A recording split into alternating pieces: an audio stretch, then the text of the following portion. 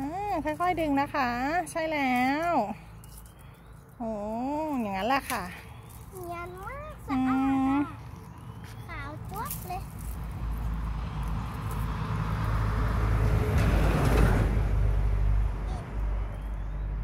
รุ่นจิ๋ว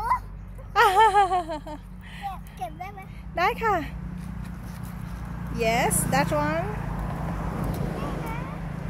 อะได้นี่ด้วย